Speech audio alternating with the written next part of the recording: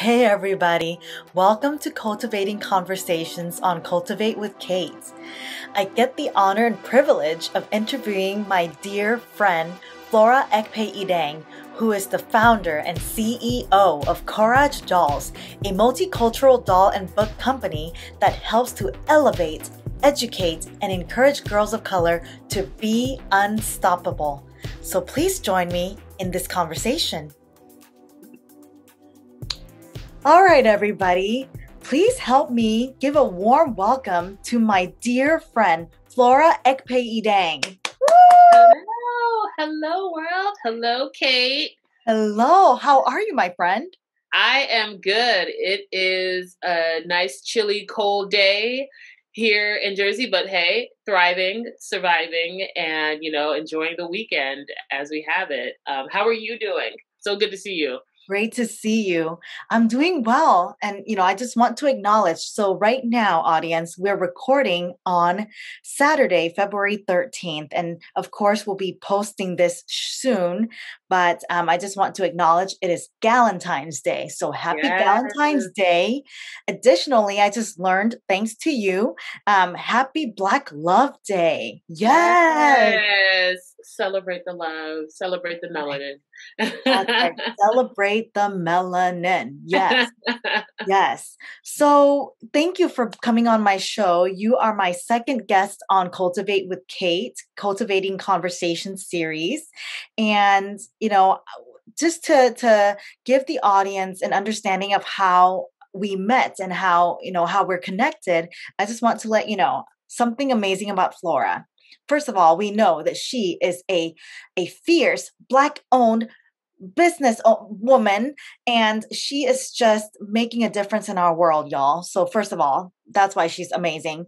But secondly we went to college. We went to Pepperdine together. AO Waves, shout out, Waves. shout out to yes, go Waves, go Waves. and so um, I remember the first time I met Flora was during new student orientation. So we mm-hmm. call it NSO. And Flora, as part of the tradition, and I meant to tell you this the other night when we yeah. talked, um, my favorite memory, first slash first impression of Flora, is that um, uh, there's there's this NSO tradition called Frosh Follies, and I remember Flora playing um, in a skit for her for her uh, residence hall, mm-hmm. and she was playing like this fierce, you know, TV interviewer, um, kind of like an Oprah Winfrey. Yep, and you know, it was like a cool skit. And didn't you guys win? Did you guys win that year? Did we win? I I don't remember. I felt like we did, but I would have to go back into the archives and see. I felt like we performed good enough. Oh, you we because as well, I remember you performing, and you were really good with your hall. And I remember Ashley Perez, oh, the other Ashley Perez, and her performing and her. And I was like, okay, these are the folks that like I need to make sure I get to because like they're all phenomenal and like clearly yeah. I remember distinctly that. Oh, it was so much fun. And then afterwards, I, I know that um, it was Mai Tai. It was a Mai Tai event. So for for listeners who are not familiar with the Pepperdine tradition, so um, there's a tradition called Mai Tai where uh, you know we we um, it, it's kind of a traditional. Let's let's preface mm-hmm. it by that. It's be yeah. traditional right now for 2021, but it was fun. You know when when it happened. Um, uh, it's like basically you go on like a, a date basically is that what it is it's like yeah. you get paired with uh, somebody else and you go on a date with them in a, in a way but it's kind of a get to know you this is kind of pre yeah. pre like going on tinder pre bumble pre everything it's bumble. like it's mainly just to get to know somebody else at you know at pepperdine but like right. it's kind of like yeah and, and right it, it is kind of old fashioned but you know i celebrated the moment at the time. Yeah. but but basically the the guys dorms they would um, put their neckties or accessories in a box and then the the girls would then have to randomly select a tie and then you know whoever the tie belongs to that's your date for the night. And so then we're all taken up to uh, the our university president's house. It was just called the brock house. And um, you know our president at the time represent um, Andrew K. Benton, AKB, um, who was our president at the time. Uh, you know, he's a great guitarist, and he had his band. I think his band was called the Midlife Crisis. And um, I remember Flora. This is what I remember about you. You were dancing the night away, and I was like, "Yes, this girl knows. She has great dance moves. She is so fierce." Like I'm just like, I want to be her friend. So that's what I wanted to share with you the other oh, Oh my gosh. Thank you, Kate. oh my gosh. Like, I, I remember meeting you as well during new student orientation and just like get sensing your energy and vibe. I remember you distinctly at Frosh Follies doing oh. this in your and I was just like, okay, this female clearly has energy, and when, clearly, when she walks into a room or clearly walks into our stadium and for our basketball stadium, like she clearly, you know, commands attention. And this spirit and vibe that you had in the aura that you had instantly, I was just like. I, I need to get to know her, and ever since then, and when we when we officially had time to get to know each other, like it's been amazing. Oh. And so, yeah, I'm so thankful for you. Well, thank you again for coming on my show and, and for taking the time out of your busy schedule, I'm sure. But we're going to learn more about Flora and her journey to creating what will be an empire, I believe, and I know it, um, yeah. with Corage dolls. Speak into existence. Say what? Speak it into existence. That's right. Manifest. Manifest. That's what we're here for, my friend.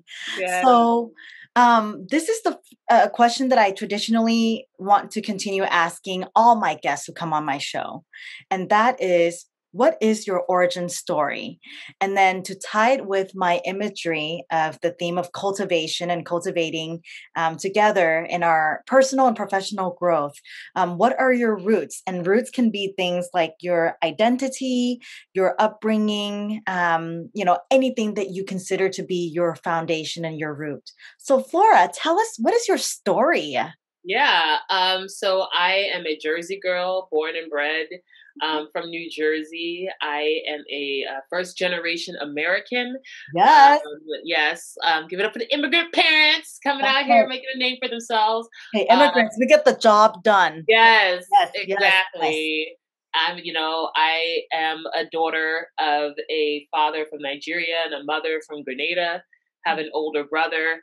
Um, I very much like the idea of identity and origin is so so important to me. Like diversity and inclusion has always been something that's so important to me in our household growing up. Like interestingly enough, it's like you know I'm a Christian, but my parents and my father had multiple books in our household. That was a you know the Quran or the Torah mm-hmm. or you know uh, just just so many different books just to be able to be aware and learn of um, this idea of you know just exposure to different religions but most importantly learning about different things in culture and identity. And um, i'm very much someone who you know i uh, went to i went to probably the smallest high school. I was trying to tell people like my high school experience is probably like the first inclination of what actually got me connected to me doing my business and kind oh. of got me on this journey to Dolls. I like to kind of go in that area and space because I went to a high school that was run by a Quaker. Wait, and whoa. okay. That was run by a Quaker who wore Pumas. Really awesome woman named Sue uh, uh, Newell. She's, you know, Sue Newman. Sorry, um, I'm probably messing up her last name. I apologize, Miss. Um, um, but like, truly amazing. And my school had my graduating class in high school had 25, 26 people.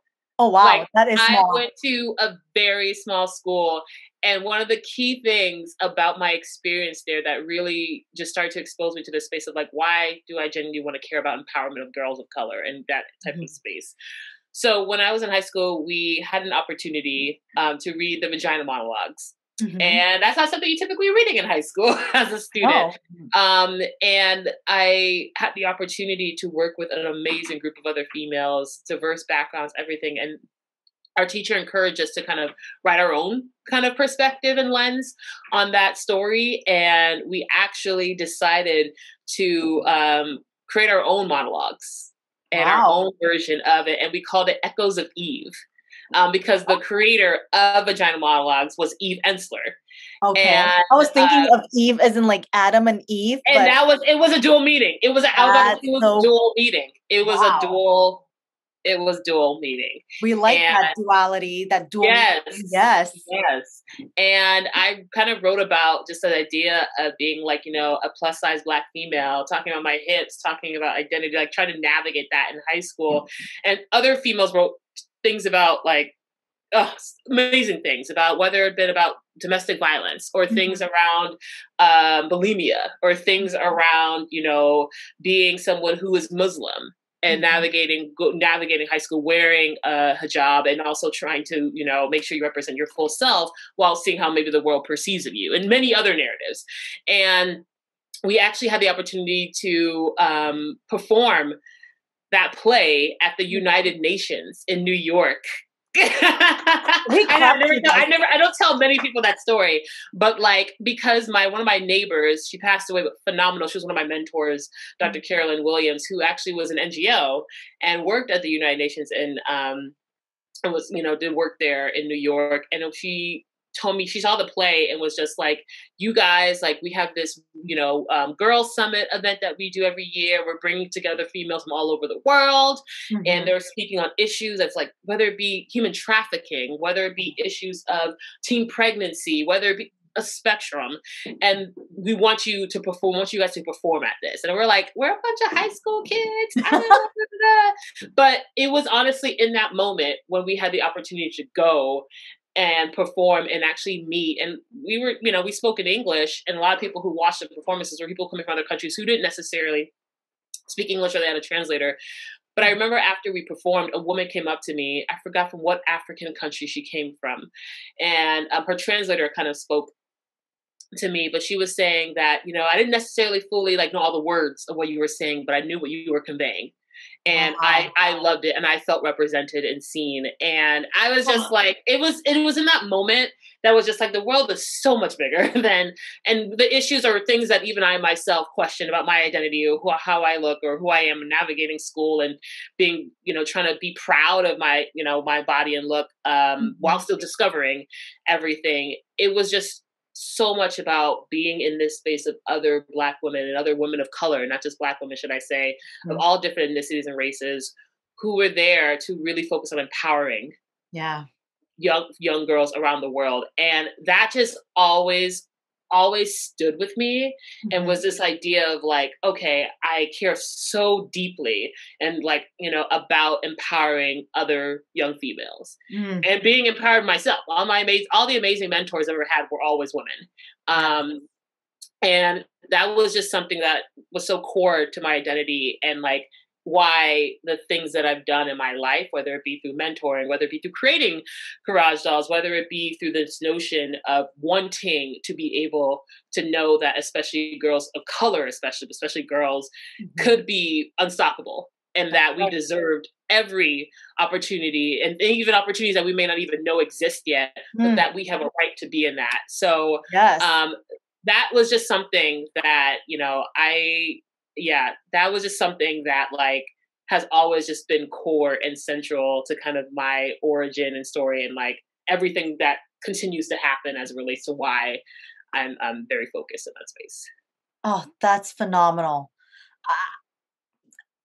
I'm speechless right now because wow, like what a beautiful testimony about your journey and I, I find it to be um, well, I, I find multiple themes of what you just shared. Mm-hmm. First of all, the theme of mentorship and the theme of um, you know having connection with someone who's older perhaps maybe not older but someone who um, partners with you and is willing to journey with you along your your path to whatever it may be right and so um, when you mentioned that you guys did let me rephrase i should not use the word you guys as much that you all or the Texan in me just want to say y'all.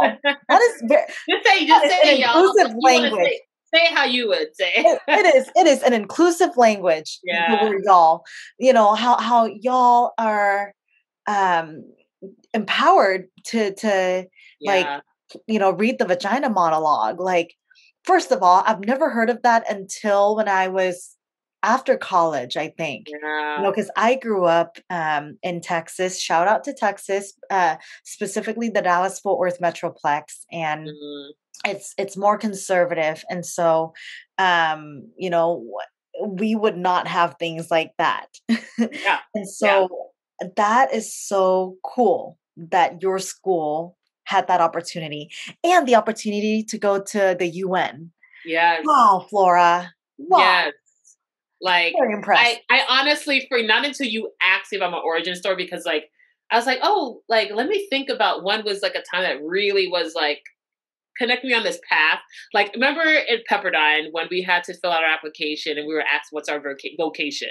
Like I yes. remember oh that, and I didn't know truly what that word meant at the time. I just thought it was the same thing as like, oh, what are you passionate about? But then I, you know, learning years later, just that notion of like your vocation is like what do you feel innately that maybe mm-hmm. you're either meant to do, not something that either is focused on making you money or necessarily make, but like what exactly are you uh, trying to leave behind in this yeah. world that um versus trying to receive and um you know, like it took, I didn't, I don't remember what my answer was at that time because I didn't know what that word really meant, but I got into Pepperdine. Thank you. like I, I proved myself otherwise, but, um, it, I look back at that now and I really just think that like honestly the things that I, I I do and I love like I feel like genuinely my vocation is in the empowerment mm-hmm. of girls of color especially because I was just truly inspired and supported by so many amazing women, whether my mom, whether it be Dr. Carolyn Williams, whether it be my teachers in high school, whether it be, you know, you know, women that I met in my career who I always pretty like keeping it real with me and pushing me and mm-hmm. also sharing the struggles of like how to like to be your unapologetic self. Um and but know like the barriers that exist, but still going forward yeah. in that. And so um I, I think that like is just something that no matter what I do, uh, whether it's the doll company, whether it's I'm um, working, it's something that like is just in me that like continue always to push and strive for. So cool, Flora. So cool. Well, thank you for sharing that part about um, just the empowerment and, and all the wonderful things from your childhood and your high school, basically your formative years. That's yeah those are crucial years. And so Yeah. Yeah. I think yeah, I think that like sometimes we may not always have a time frame to like pause and think about like what was it when we were younger that maybe like interested us in something years later because I think that um it was it was also in high school just for people who may not know it was also in high school is when the notion of Corage dolls before it was Corage dolls just when this notion really came to mind of like wanting to see toy representation on shelves mm-hmm. and um, a lot of things happened in my high school years. like I have to give I have to give it up to my high school, the Hudson School in Hoboken, New Jersey. Amazing school that taught me like so like oh my goodness. I think it's one of the greatest high schools in existence because that school like allowed us to just truly like come into our own. We had teachers that were literally like activists, people who were who participated with MLK and uh, like it was very it was just like I look back at it now I was like I got to have that experience like oh my goodness that school was uh, it's it was transformative. You don't sometimes remember until you pause and you're like man some of those amazing things that happened when you were younger that helped you don't realize it then but now you look back and you're like man having that experience um either helped put you in a certain direction or steered you from a certain direction right. um but yeah, sorry, I'm going off a tangent. No, don't apologize. We're here yeah. to experience the story. Goodness, yes. I just uh, thank you, thank you, thank you. I do want to pivot a little bit and and and touch now on your college years, right? So yes. we touched a little bit on the fun aspect of how you and I met, but yes. um, talk about your journey that eventually lead you to Corage Dolls. Yes. Um, let's yes. start with college and, and and your transition from Jersey from your phenomenal high school to now Pepperdine in Malibu, California. What was that journey like for you? Oh gosh, the journey of you know transitioning to I'm from East Orange, New Jersey, predominantly black area, urban city living, and um, going to Pepperdine, where the moment I stepped on a campus and I was like, this is the most beautiful school in the world. I've never seen a school that had a picturesque blue ocean view, blue skies. You every time at Pepperdine, we always said hashtag blessed because like I know, right? like you literally were like, oh my goodness, I'm I'm blessed to be here. Oh yeah. Uh, but it was it was at times intimidating. Like mm-hmm. coming from the background that I had, you know, I that was the first time I'd ever seen students my age, people my age, driving Maseratis. Like Yo. I saw an Aston Martin before, right? And I was like, I saw a Rolls Royce like one time, eh, you know, um, in uh the parking lot right by the health center. Yes. Like what?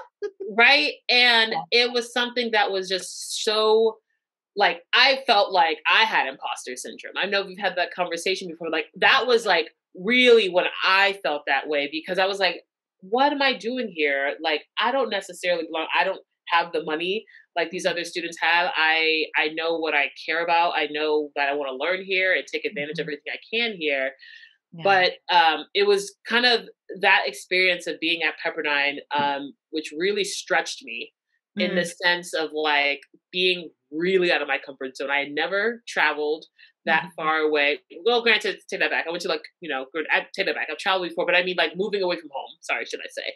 Right. And um, knowing that being in California, it was, you know, a school that I wanted to go to for quite some time. Mm-hmm. And but when I got there, I was like, okay, I am really out of my limit. I don't see many people that look like me.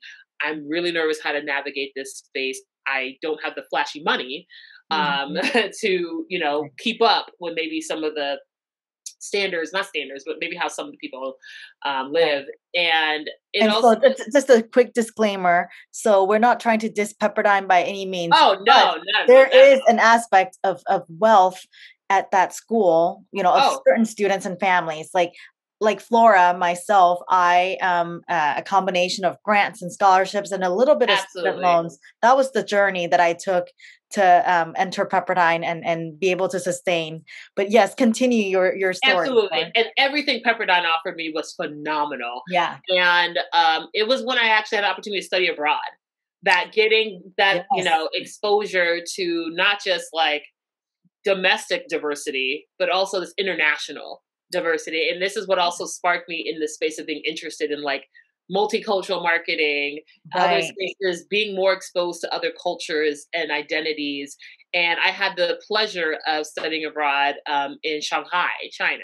Our class, our group was the first one to go to Shanghai literally a month or so after the Beijing Olympics. Oh, and so literally fun. right before Obama got elected for the first time. It was right in between of that era. And it was the most phenomenal like time frame of my like another pivotal moment yeah milestone in my life that was very much rooted in like okay once again i'm in a culture i'm not as familiar with but i'm going to push myself to learn the language get to know the culture mm-hmm. um, explore you know the city explore other countries and i was very much just like just just you know amazed by um, seeing you know in the way that either marketing was done or eating food or hopping on trains yeah. and planes everything mode or transportation but also just mm. like being in an area shanghai that was really about the past and where we lived in the puxi side and also the pudong side which was the new modern side. And yeah.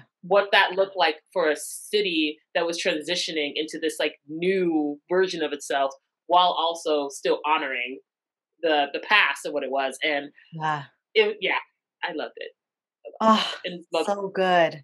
So I see a theme also here. You mentioned, you know, like yeah. your interest in in in uh multicultural and, and representation and yes. then the the foundation of Corage. And so let's talk about the genesis of it. Yes. Yes let's talk first about all, Corage yes. Yes first of all why the name courage?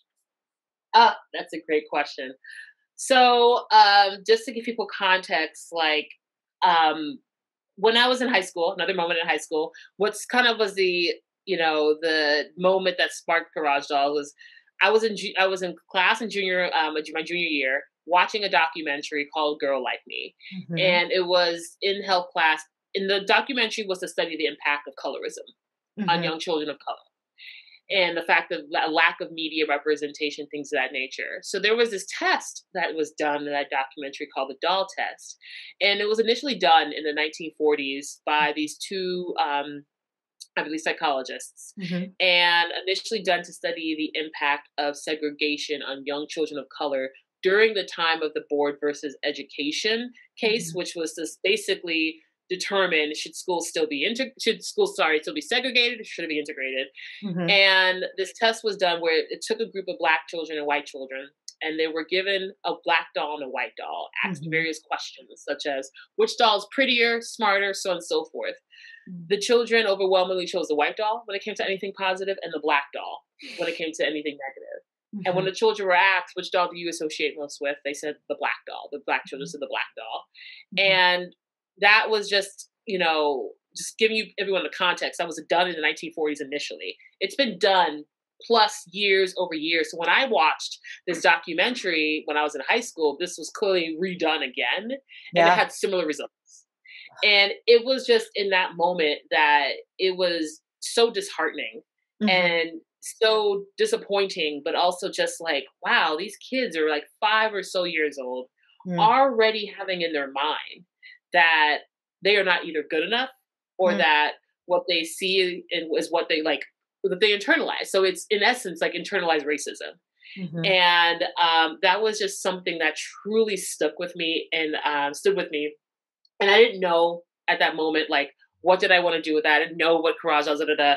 But basically, I, you know, took years of just keeping that in the back of my mind as I thought about, man, toys were something that was that helps build a child's imagination. One of the first items a kid gets when they're building their mindset and their imagination and being able to, you know, discover play and, you know, build out who they can be.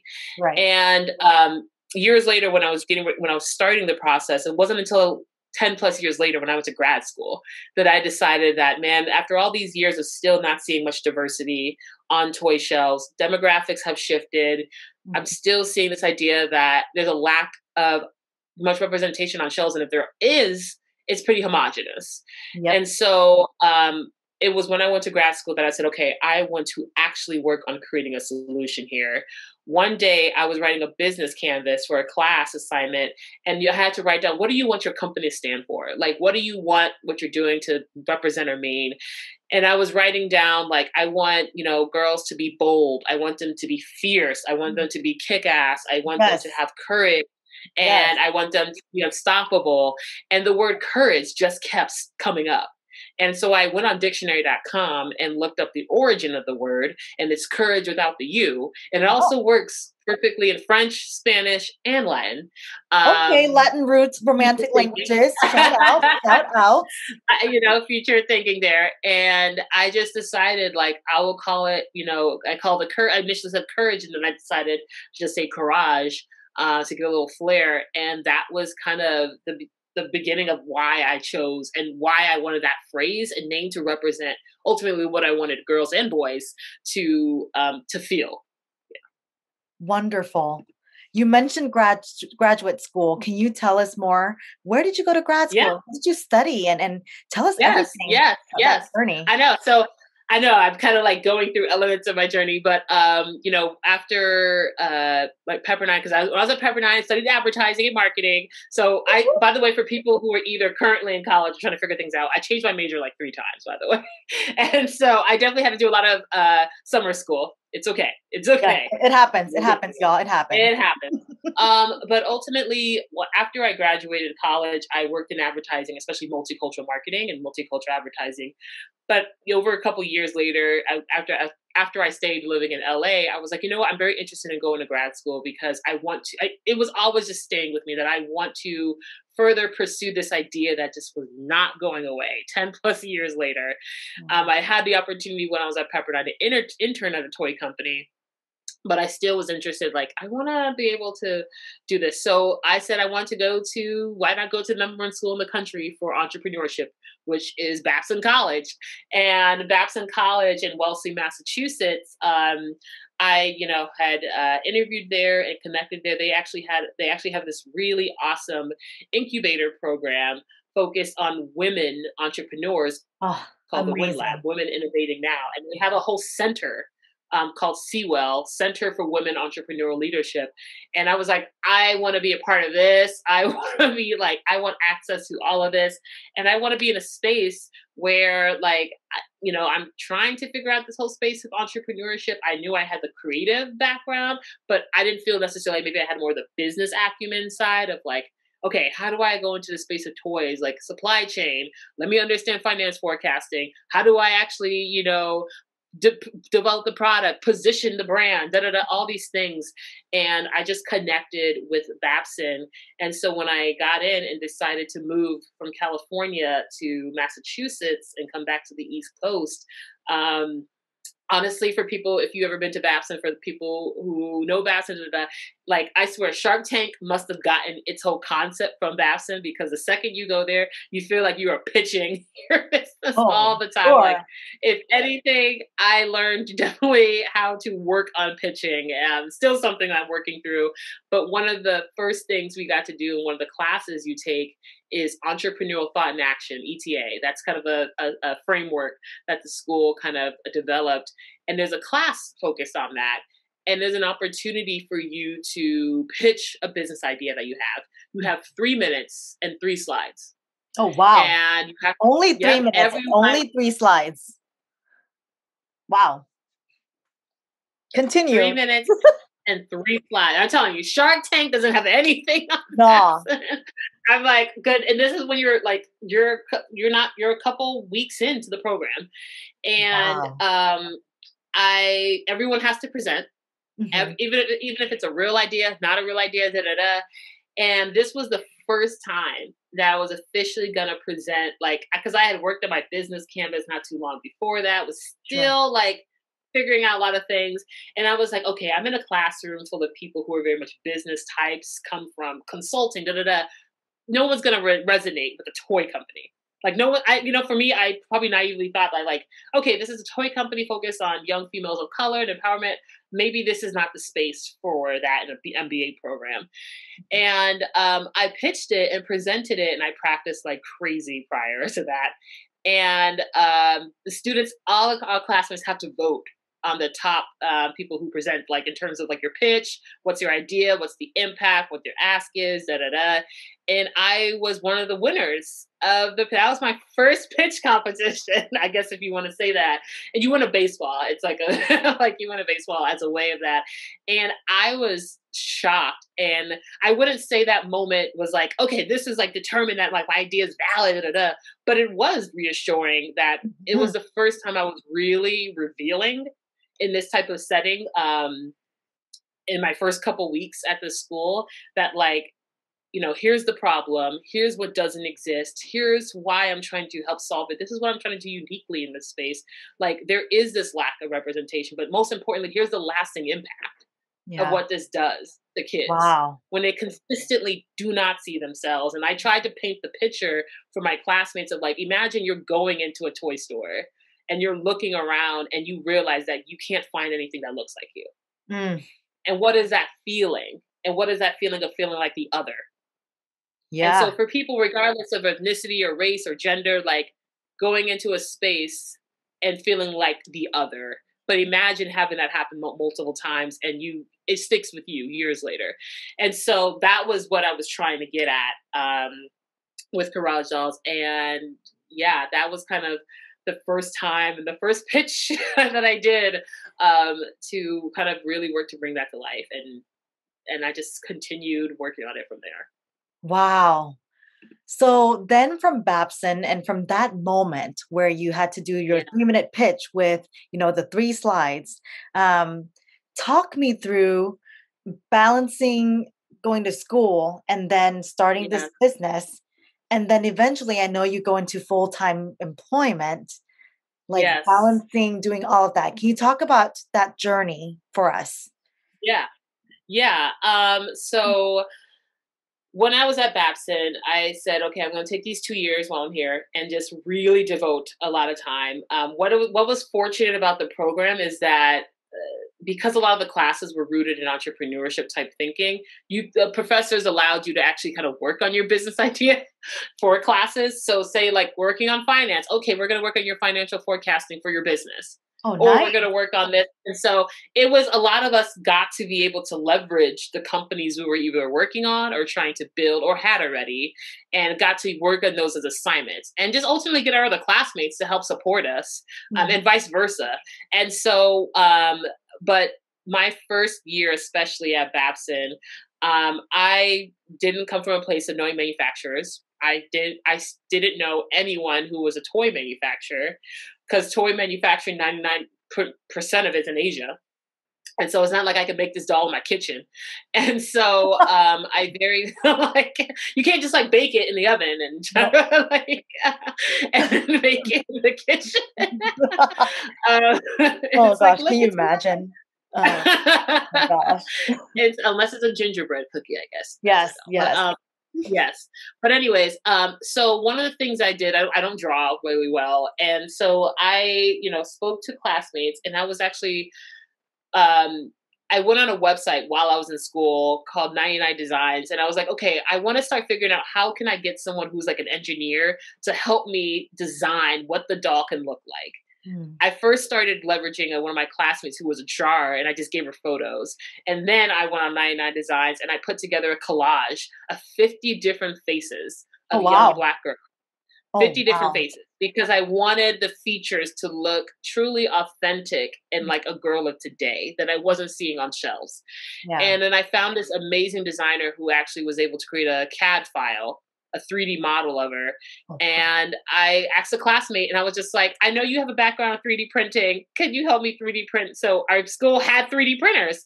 Nice. And, uh, and I would use, um, when I got the doll 3D printed, I was like trying to maneuver the hair, trying to figure out clothing, da da da. And I had spent time during either during class or mm. for assignments or when I was like being able to be in Boston and just go and interview people.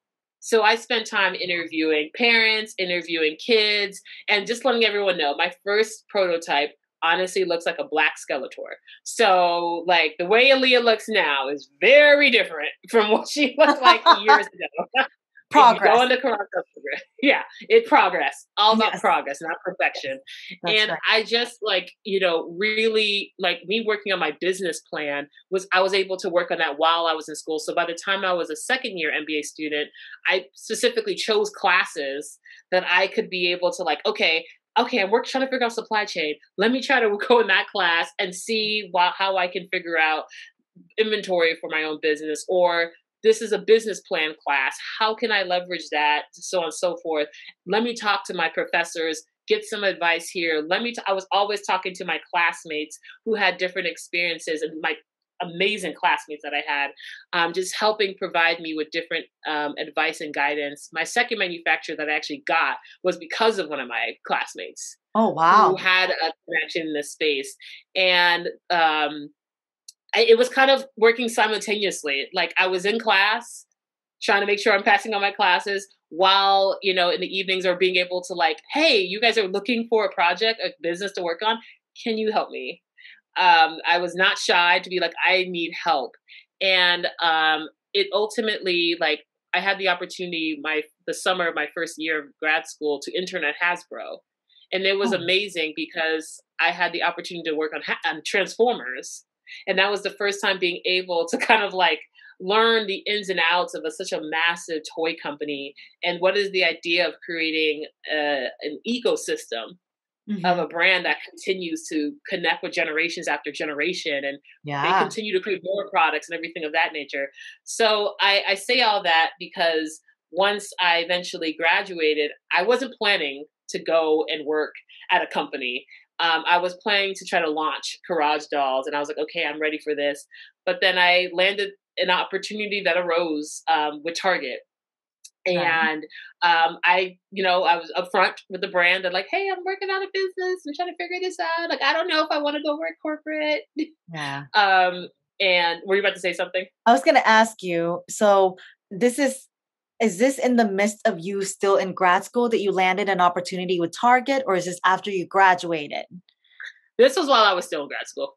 Fantastic. Yes, all these things are happening. Full time job. While literally, while like, so the opportunity. So my second year of my MBA program. So after my first year, spending a lot of time in my base, like my regular classes, trying to work on interviewing people. I probably interviewed more than 100 plus people. I had my, my Babson was able to cover me going to the New York Toy Fair. And wow. so I was able to go as a student uh, more than one occasion and just like use that as a way to just learn. Like I was, I was very much very attuned to how can I leverage the resources that the school was providing me and being very specific about what I wanted.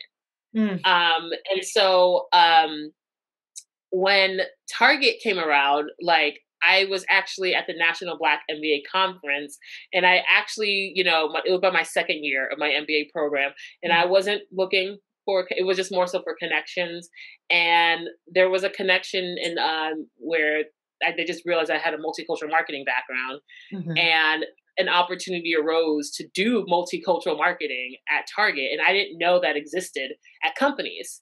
And like I said, for me, diversity and inclusion and this connection has always been something very important to me. And um, it just, you know, it was literally my when I was starting my second year of my MBA program that this opportunity arose, and uh, a couple months in, and you know, eventually I decided, okay, like if I do this, what is the impact to me start mm-hmm. launching my business, or what does this do here? But I can learn about the space of retail. I can learn more uh, and that lens. And so eventually, you know, I decided to take on the role, and I'm still currently today at Target, uh, focus on leading our Black audience marketing strategy. So I get to focus 24 seven on connecting with the Black audience. But um, it was very much a journey, and definitely like that, you know, balancing, trying to make sure.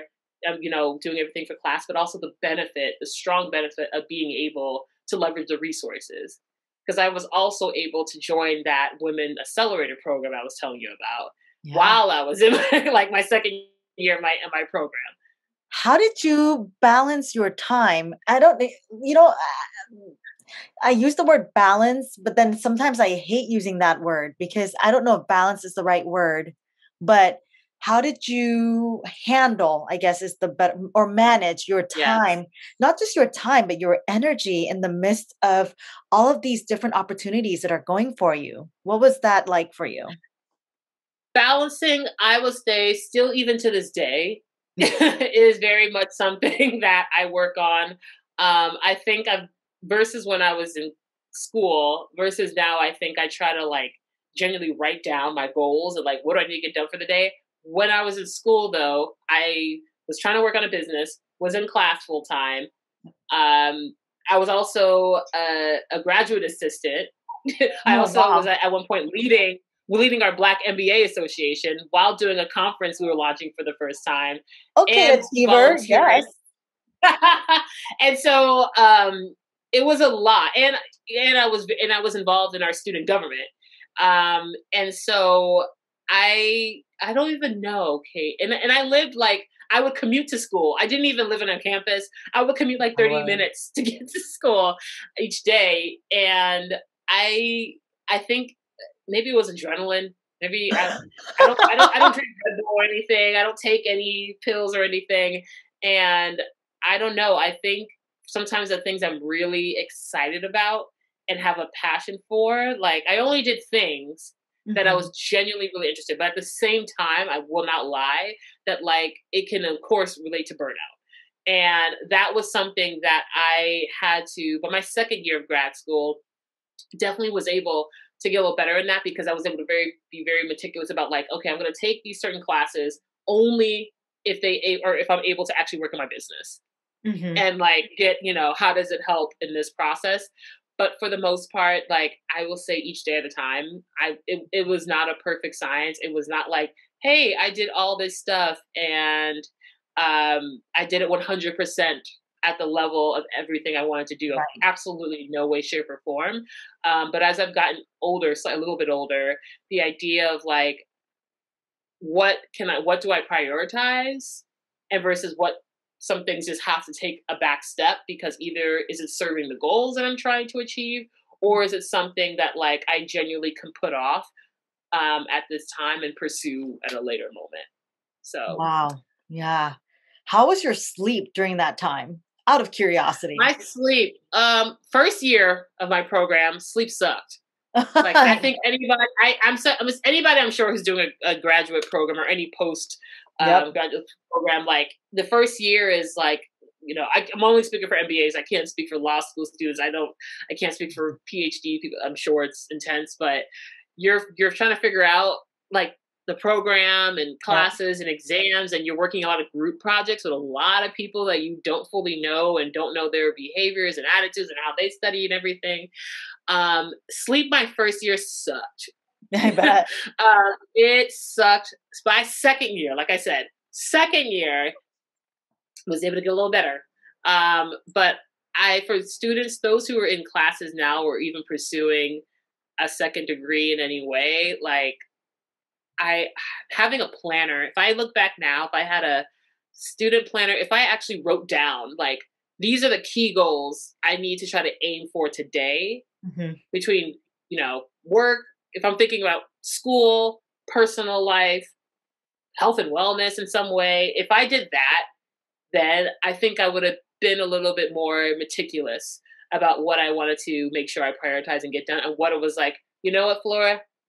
you got to put this off to a little bit later because if you don't get this done then you won't everything else goes to crap um, and so yeah i'm not gonna lie definitely the first year of my program sleep wasn't too too excellent and definitely not something i recommend and making doing that i recommend time management is one of the things that i continue to very much work on but definitely in that program wow wow wow! I, I I feel like your story is very much relatable to so many people in the world, right? Mm-hmm. Like trying to juggle different things, different roles in life. Um, in your case, you were balancing school and then eventual transition to working full time while also trying to start this business, like a startup essentially. And so, um, wow, Queen, like thank you for being vulnerable and being honest about that journey because that is yeah. I, can't imagine. I mean, granted, I you know, did graduate school work as well. Um, yeah. My program was with Abilene Christian University. Shout out, go Wildcats! Um, and it's an online program, and I got my master's of science in organizational development. And I was doing that in the midst of working full time for Pepperdine. And mm. even that period of time, I just remember like, even though it was one class at a time, and each class, uh, if I'm not mistaken, it's about six weeks long. And even one class only, like the struggle was real. and yeah. so, you know, to balance full time and then school, and then for, to add a business and a side hustle on top of that, phew, a lot, a lot, a lot to handle. And we can do difficult things. And so just thank you for sharing that journey. Um, yeah. I want to now transition to asking about your first doll, Aaliyah. So I have here with me, I don't know if you want to show your doll, but I'll show you my doll. So here's Aaliyah. Hello, Aaliyah, everybody. Oh, she is beautiful, but not just beautiful. She looks girl. Those and show, and show, the shoes that she originally had. Those are the, these so those are the, are the shoes, shoes. the original. Yes, and yes. these are ones that I'm like testing out right now. Some yes. new ideas. So for those who are listening and not seeing the video um, on and listening on the podcast, um, so I'm holding the OG, the original Aaliyah outfit. Um, she has beautiful uh, purple shirt with beautiful flowers around, you know, different flower patterns, and her shoes coordinate with her blouse or shirt, and as well as her headband. And she is rocking this denim uh, bottom. Um, what are, these are these capri pants? Like, what are they called? I, you know. I guess so. Is that what? Yeah, I guess those are. Capri. I don't know if it's capri or or um. I don't know. Like, is it? There's another name for it, but either way, if um the audience, okay. if you know what the name of this type of uh pants are, you know, let us know. Um, but yeah. she is just so adorable. And what I love about the way she looks here is that I'm grateful, Flora, that no offense, actually a little offensive to, uh, not offensive. I don't know if I'm using the right word, but no offense to Barbie. Yeah. But if Barbie's offensive, I can't, or offended, then I can't help it. But um, sorry, Mattel, you know, but like I like that this doll looks like a girl, not um, a disproportionate, um, sexual objectified mm-hmm. figure. Does that make mm-hmm. sense? So I really yeah. appreciate the innocence of this doll. Um, eh, yeah. So first of all, why the name Aaliyah? Yeah. Um, so Aaliyah, for you know, for those who know, but you know, it, she was named after the great R and B singer. Um, so for the youngins who may not know, Aaliyah was a pivotal R and B singer of the '90s and early 2000s, who unfortunately passed away.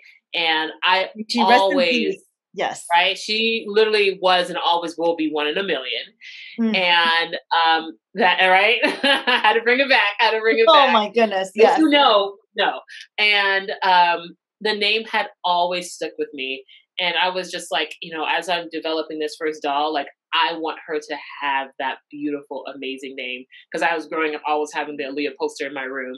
And yeah. so felt like that that's a strong, beautiful, queen, dumb type of name, and felt that was what she deserved. Yes. And I love her hair. And yes, the hair. Talk to her. Talk to us about her hair. Okay, talk to the audience. For those who are not watching, um, what does yeah. her hair look like? So, for those who can't see right now, Aaliyah, you know, she has this soft, voluminous, coily, you know, Afro esque uh, of just beautiful bouncy curls hair. And this was something that I kid you not probably took the longest piece. Like just so people don't people may not know, it probably took this was like two years in development truly of getting this doll to look and um, feel like this. So the Aaliyah doll is 14 inches tall. She is ball jointed at the arms and the legs and like she doesn't have a thigh gap. I was very particular about oh, making sure she she had a body um, that was deserving. Yes. and you can flex her and bend her and honestly no one's ever told me she's broken. I've had like no one's that's never happened but the hair, when I was working with my manufacturer, I was very particular about the hair because when I had my Black Skeletor version of Aaliyah and was testing that out, I was talking to kids and families and I was trying to get a gauge of like what was kind of the important features of the doll they really liked, da da da. And they were saying, like, oh, I love the hair, or I really want hair, da da da.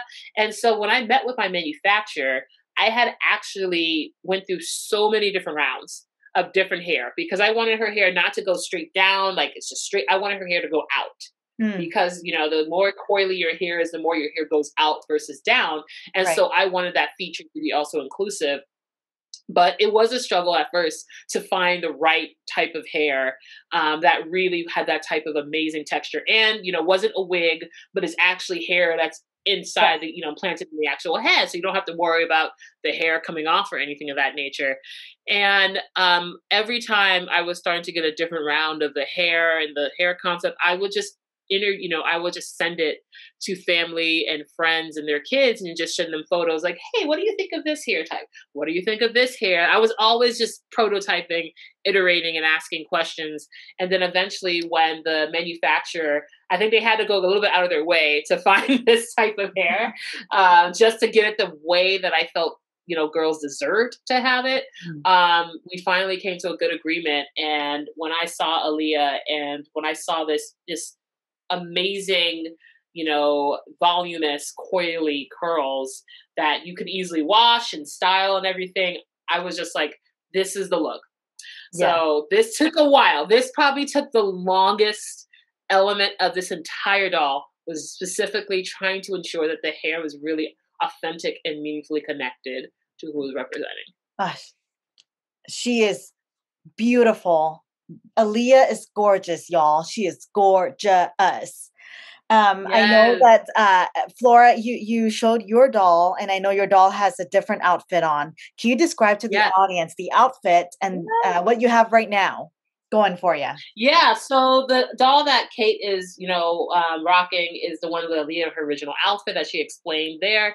For me, right now, I've been working on testing new accessories because, mm-hmm. you know, just to let you know, give everyone a little inside, you know, Ooh. intel. We're working right now on coming out with new um, accessories for Aaliyah, so that is in the works, coming soon.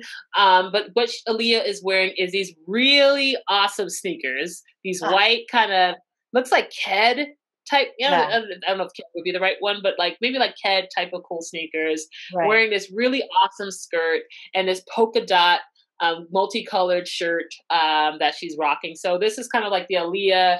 You know, she's just rocking outside. Maybe she's going to the mall. Maybe she's going out the street in um, Chicago, or just you know hanging out with her friends. And this is just kind of that chill vibe look. Or she's kind of heading to school. And so there's so much multidimensionality of Aaliyah. Like um, for those who may not as well know, like I also created a children's book that teaches, um, you know, there you go, right there. Don't give up Aaliyah. Yes. Um, the children's book that accompanies uh, the Aaliyah doll, and I really felt it was very impactful for people to give a sense of like who is this character Aaliyah? Not just the doll that, of course, they can create their own version of what they want her identity to be, but wanted to give at least a starting ground of yeah. what I felt Aaliyah represented, who is an eight year old Chicago kind of, you know, old, spunky old soul entrepreneur in the making. and she, like, she sounds like you. Is she inspired by you, Flora? She sounds like you. She is inspired. She's inspired by me with a little bit of um, one of our friends that you also know, Ashley Watson. Uh, Ashley also went. I actually nod to her in the book um, in terms of one of the people that I call out at the beginning um, who helped inspired. Because when I, Ashley was a friend of ours, still a friend, but she went to Pepperdine with us as well. And she was just kind of this old soul yes. kind of personality. I was like, wise beyond her years, even though she's only in her early 30s. And I wanted Aaliyah to kind of have this blend of like my personality in terms of this like okay, creative ideation. Like one thing about Aaliyah's character that she always carries around a green notebook. And for me, I always have a notebook in nice. the vicinity of like everything I do because I'm always thinking of ideas and thoughts. And Aaliyah carries around this green notebook everywhere because she's always just ideating and inspired by things she's mm-hmm. seeing in her community. And so the book's premise is basically like she, you know, sees an issue happening and she decides that she wants to kind of invent or develop a new solution to help her friends um, with a new product. But she kind of learns along this way that entrepreneurship and the creation and developing a product is not something you just do alone. It's like, how can you really you know, partner with your friends, like the closest network. I think a lot of times entrepreneurship gets glamorized in a certain way that, like, mm-hmm. you wrote your idea down on a napkin, you passed it on to a VC, and bam, you get millions of dollars. and that's not how it works. right, right. It's just like that's how it works every day, right? And so, um, Aaliyah kind of, you know, it's titled really Don't Give Up Aaliyah to really teach kids about this idea of perseverance and determination mm-hmm. and but really being rooted in what are you trying to solve and what's your why? Mm. And um, along the way, Aaliyah, you know, gets the help from her friends and her family. She has a younger brother six year old named Amari, who's a blerd. For those who don't know, that's a black nerd. Um, Uh, thank you. I've never heard of that terminology. So he was. There you go. Blerd. Blerd, community. I see you. You're represented. Wait, spell, spell, that. So B B L E R D. L E R D. Okay, like Blerd an Urkel, but like more refined. Yes, it's like I don't know because it's like you know the Urkel of the day meets like you know Donald Glover, oh, aka Childish Gambino, love. meets like I don't know meets like fanatics of comic books, black fanatic, you know, there's a whole sub community of yes. those who are black that don't always get to be like shown like the Comic Con space or those who love, you know, um, entertainment, comic books, and or anime. And so her brother is a six year old kind of whiz kid who's a blerd, and I was like, I gotta have a blerd representation in this. Um, is this in relate? You know, is this related to your actual brother in real life? Out of curiosity, or oh no, no, my brother. my, well, my brother my brother, I wouldn't consider him a blerd. He loves video games. Well, he does collect different toys, but I don't know if I consider. I don't know if I would say he legit is a blerd because I think people who are really blerd would be like, "Nah, your brother's not that." I, my brother, if he's watching this, you're not a blerd, but you're. um, but there's just so many amazing people that Ali is inspired by that you get to learn about in the book. Mm-hmm. Um, who kind of encouraged her on her pathway as she just keeps in mind, like, how do I think about like trying to make change in my community? But I'm only this young kid in my community. But she learns that like it's not something you have to feel like you have to do alone and um, really having this close connection of people around you as you're trying to work on creating a solution that um, and just the lens of i was just inspired by all these little young girls mm-hmm. today who were building businesses or being activists you know finding i don't know new chemist inventions it's it's amazing what this younger generation um, maybe through the, because of technology and maybe just because of just the willpower and what they've had to navigate in terms of being resilient in this day and age that I wanted the story and book to be through the lens of another young girl just like going out there and doing that so that other kids can be like okay i don't have to be 20 something or th- I, I can start this now yeah. and know that i can make some type of change but but also making sure that parents or the family members who are there who can support that and also just help um, encourage them, but also, you know, keep, you know, sort of like, okay, let's make sure you're doing, you know, keeping this in mind. But I think you really get to see this awesome unit of who Aaliyah's family is, um, mm-hmm. um, while how Aaliyah is ultimately just trying to, um, trying to make just, just everyday change. Nothing dramatic, but just what can each one of us do? Yes, yeah. yes. As um, you know, I, I'm a fan of Michael Jackson and um, specifically his music. Granted, not the accusatory parts, but mm-hmm. um, I, I think of you know songs like um, uh, "Man in the Mirror" and yes. make that change. You know, um, yes. I think it's "Man in the Mirror," right? Right when he's yeah. whispers yeah. and like make, make the change. change. Yeah, the change starts. Uh, if you want to if you want to be a if you want to make wait if you want to make the world a better place, place, take a look at yourself and make that, change. make that change. There you go. Yes. Na na na na na na na na i know. People in the comment section finish the rest of the song. Yes. oh my god that could be a challenge. Just oh like finish what we thought I just but but seriously, like I'm so glad that you wrote a book about resiliency, even though the word resilience isn't on here, but the notion of not giving up, the notion of, you know, always um, doing something and making action based on your ideas. And mm-hmm. I remember going to one of your uh, so so for the audience, I, I had the pleasure and privilege of listening to Flora in a forum recently with Pepperdine University's Seaver alumni program. Shout out to our friend Hannah Dean for being a phenomenal Hannah. moderator in that. Um, but I remember you saying progress not perfection and i know you said this earlier in our in our conversation but can you talk more about this idea and, and your advice to people about taking action versus perfectionism. Can you flesh that out for us? Yeah, absolutely. I think, um, honestly, it's a cheesy phrase, but no time better than a present.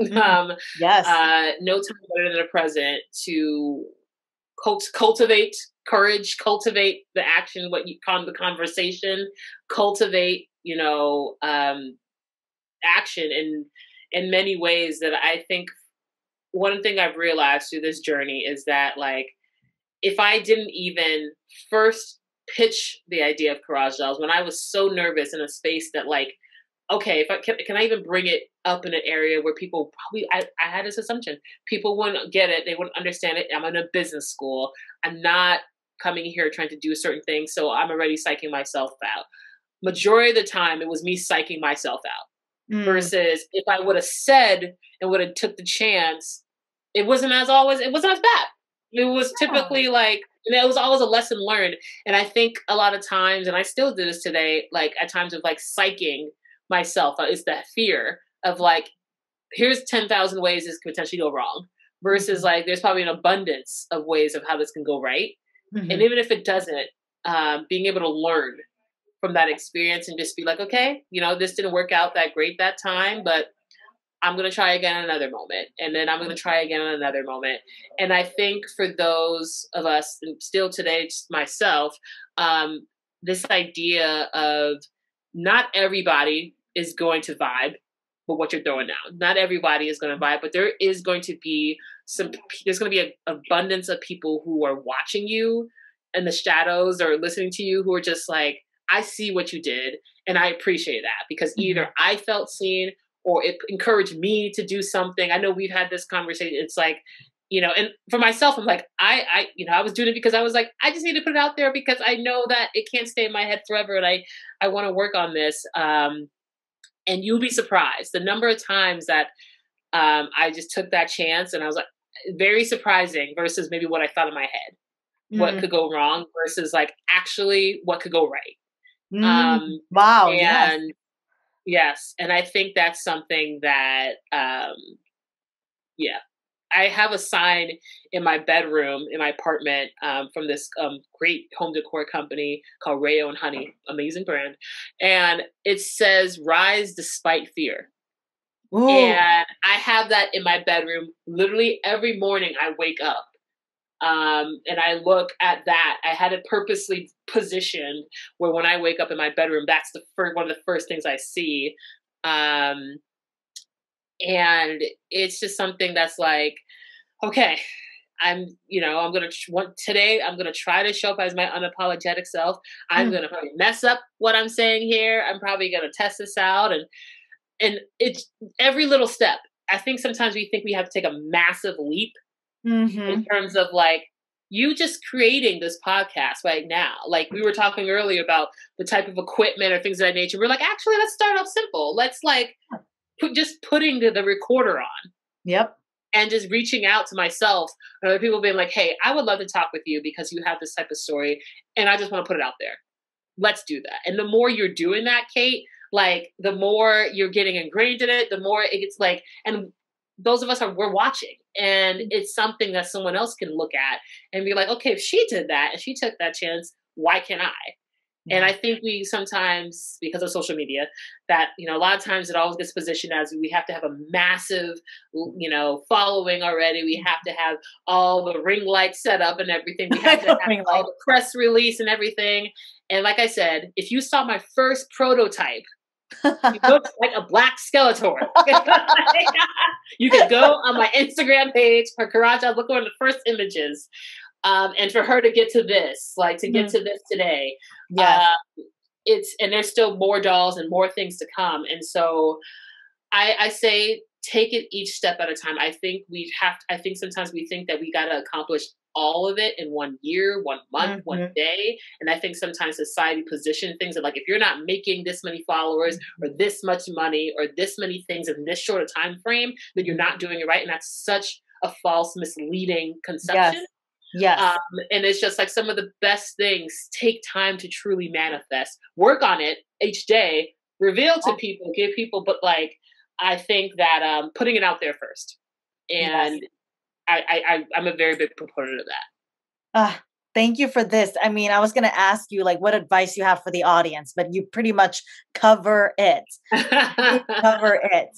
And, um, you know, the theme here is just taking action Yes. It may not be perfect, but you give it a shot, right? What is it? What's the saying? If you you miss a hundred percent of the shots that you do not make. Yes, or you don't take or something. Or yeah. take or whatever. Yeah. Miss one hundred percent of the shots that you don't take. Don't take. That's what I meant. Yes. So, right? Or I'm always like, closed mouths don't get fed. Closed mouths don't get fed. I, I don't know if that's an African proverb. I feel like that's something my father says, but I'm sure it's, it's actually someone who who actually said that statement. But wow, I'm gonna, I love gonna that. it was an African proverb. But like closed mouths don't get. I say that at work too when I'm talking to myself or even my coworkers, and I'm just like, closed mouths don't get fed hmm. until you say it or say something about it. No one's gonna know. We all can't read minds. No. So they can. I give you credit for that. I'm not an X Men. I wish I could be, but like if that was my superpower. But um, I will say ultimately that like um, yeah, to your point, you miss 100% of the shots that you don't take, and it doesn't mean that like you have to like go in the middle of an arena and announce to the world what you're doing, but like you turned on that camera You mm-hmm. wrote that blog, you made that post, you did that pitch, you shared it with somebody else, you called up a supplier, you got the material, yep. you you know made that note, you submitted an account, you turned into an LLC, you did these yes. things. Like all those things are just yes. as important in this. Yes. Uh thank you for that inspirational encouragement. Just way to keep it real, Flora, and way yes. to yes, preach, queen, preach, preach, preach, preach. so, um, I want to now transition to uh, real quick. We'll talk about your future goals for Corage Dolls, and then I have some fun things up my sleeves. So, can you tell us and give us a sneak preview of what your dreams and goals are yeah. in the next year or so in the future?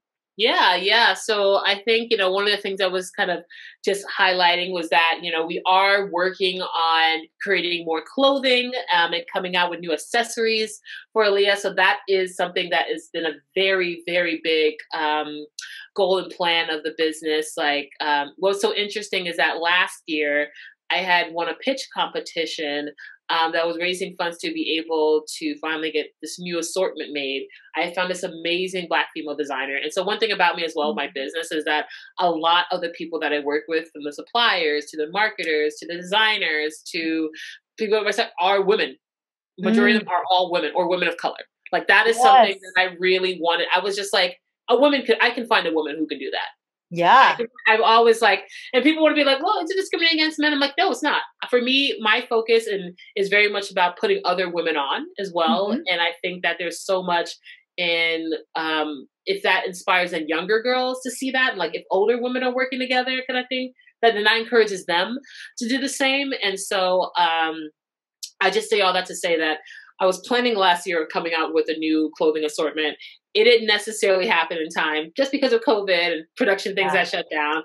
I ended yeah. up launching an always on fundraiser called mm. um, Cultivate Courage, which is part of the brand. So a cultivate. So when you said your thing is called cultivate, like cultivate, such a strong word.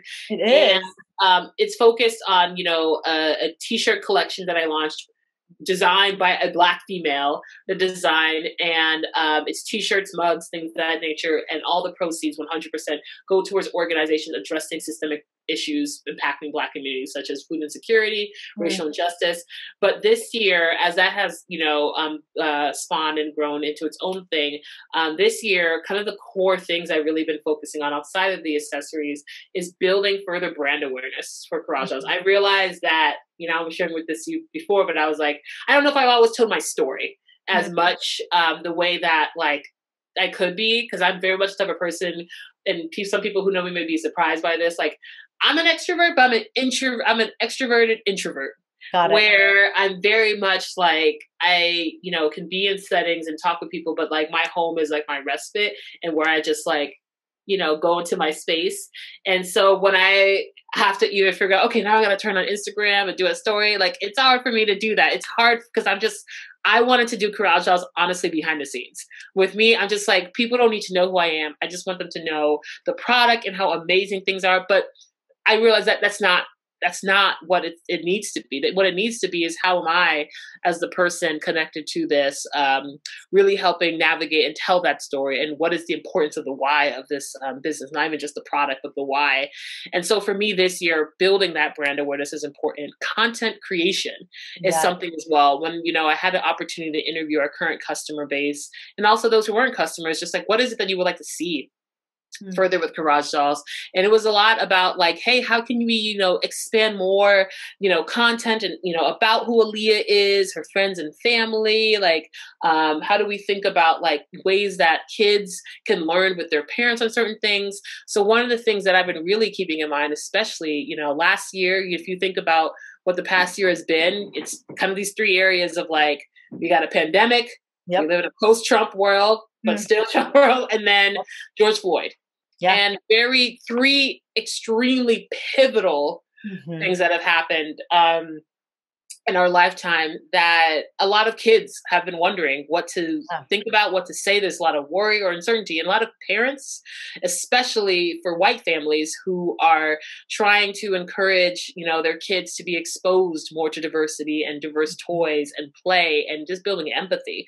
The parents themselves are even trying to. I've had, you know, lately a number of people who buy my doll be white moms Mm-hmm. and you know or what or you know non you know black males as well who are trying to also support their kids with this but for us i think there's a lot of opportunity to have conversations meaningful conversations about race yeah and how to um, how can our brand help serve in that opportunity as well where parents are trying to navigate that mm-hmm. themselves and maybe they have struggled in the past to do that but they want their child to be exposed to dolls and toys and things that encourage play while they're also trying to navigate how do i have meaningful, connected conversations with my child about what's going on in the world and why it is important for representation to matter. And yeah. so I think for me, thinking about really meaningful content and helpful content that can allow for conversations and meaningful connections between mm-hmm. parents and kids or aunts and kids and nephews, nieces and nephews or the you know allies or educators. And then lastly, um, just doing more partnerships. I think for me this year I'm very much leaning into partnering more with like women and women of color, whether it be in brand partnerships, whether it be in collaborations, whether it be in just platform partnerships. Um, those are kind of the key areas in terms of the goal as I go further into this year, into next year. As the goal next year is to kind of really work on coming out with like a next doll in a book, but this year, really focusing further on going deeper. Yes. Well, we celebrate your successes and just we manifest all the things that you said, Flora. Um, thank you for sharing your vision and your goals with us. And we're just excited to grow um, alongside Corage Dolls and Aaliyah and possibly her future friends in the near future. Um, and so I'm stoked for you and stoked for the future of Corage. Now, it's the time um, for me to ask you fun questions and then we will close. So here's a speed round um, list of questions, just a few. Are you ready? I'm ready. Bring it on. All right, Queen. Favorite okay. book? Favorite book? I would have to say I just finished. No, not, that's this is not the favorite book. The favorite book would have to be Toni Morrison's The Bluest Eye. No matter what I do, that's always my favorite book. We stand. We stand. Uh, favorite color? Red. Love, yes, the fierceness and the red. By the way, happy belated Lunar New Year. And yes, happy belated Lunar New Year. Yes, yes. the year of the ox, I believe. Year of the ox, yes. yes. Not my not my zodiac, but we stand ox oxen. Hey, ox, hey. You know? the oxen out there, keep repping, keeping, yes, keeping keep you. Keeping you, that's right. Favorite food? I love Chinese food. Like when I was in China, like honestly, I honestly earlier today I was just at a Asian grocery store and then just like buying um just like buying milk tea buying oh. uh, noodles, like different packs of noodles, yes. buying like uh, different type of dumplings, and um, and so like I was like, Mom, can we go to this place here? Because I love getting. I think Asian markets have a lot of good, really good produce and fruits and vegetables. Um, and so, but ultimately, specifically Chinese food, though, I genuinely love. love. Love, love that. Um, favorite 90s or early 2000s icon? Uh, well, I guess, you know, Aaliyah. oh, by the way, you're the second person. The uh, I interviewed Cassandra Rubino earlier, um, and she also said Aaliyah's her favorite artist. So there's a theme here, y'all we are we are we have a bias um, and, and, a slant. Um, we we support Aaliyah. I can write a four page letter about why I love Aaliyah. Ooh. Some people get that. I would read it. For those who know what I just meant, they get it. oh my god. All right. So last question, and this is a stumper. And um, and again, I asked this question earlier, but I don't think you listened to the other interview, which is fine. So it's a fair question because you've not had opportunity to listen to this question. Okay. And again, shout out to my colleague Molly who came up with this question, or she might have gotten it from somewhere, but I'm giving credit to Molly. And okay. that is if you are a piece of Lego stuck in a blender, how would you get yourself out? Whoa, Molly. Okay.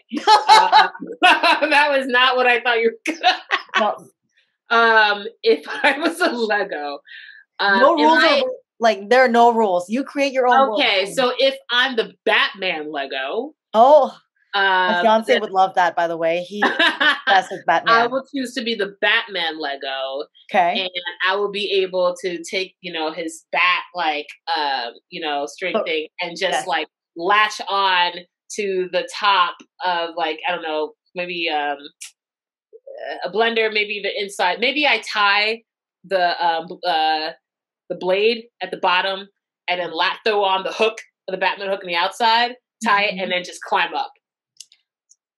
Innovation, problem solving, creativity is what we're seeing right now, ladies and gentlemen, and others.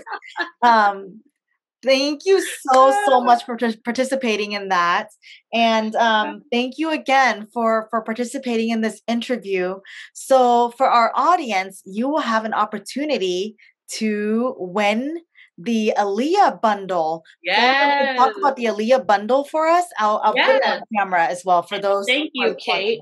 So, as part of just this amazing, you know, and also just, you know, the inauguration, I guess is the second, you know, podcast episode that Kate's doing. But to celebrate that, we, you know, have agreed to do a giveaway of the Aaliyah bundle, which includes the lovely doll, Aaliyah, the book Don't Give Up, Aaliyah, and the awesome, positive, affirming pin because representation matters. That's you right. Can rock on your backpack, you can rock on your blazer, you can rock on your jean jacket, your hat, everywhere you want it to show proudly why representation matters.